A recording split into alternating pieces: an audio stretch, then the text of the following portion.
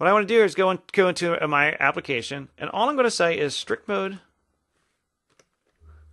enable defaults. And what that does is says, you know what, any of those potentially blocking operations, you know, disk reads, disk writes, network, capture all those, and when they happen, can you just write them out to the logcat for me, right out to the log system for Android? Just tell me that it happened. Okay, so let's go ahead and run our program.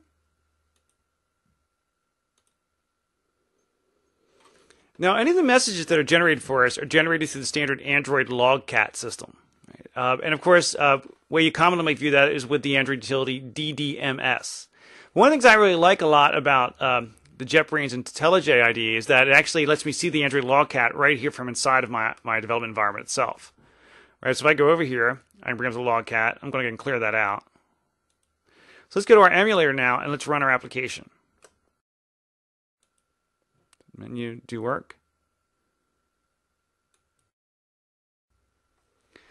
Okay, now you see here that I've got a bunch of messages in here. If we scroll up, we can see those messages are all strict mode violations. And what that's telling us is the strict mode policy has detected that certain things have gone on, right? So if I scroll over here a little bit, I see a strict mode disk write violation. So it told me that I was trying to write to the disk, so it's logged that for me.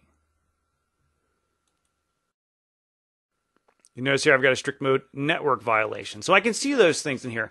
And what's really nice about those is that it always writes us out to logcat for us, but one of the neat things about this IDE is that if I scroll through here, you'll notice that any code in the, the dump stack that goes with the strict mode violation that's my code, it actually has the line number there for me. So if I click on that, I jump right to my code. Right. So now in this case, because I'm in the emulator, I was using the HTTP classes to go out there and reverse geocode it. But if I was running it on a device, it would actually point me right back here to the class that the framework uses to do that. It would actually take me right back here to this get from location. So strict mode stuff is really useful because it allows me to first see that, hey, I'm doing something on that main thread that maybe I don't want to do.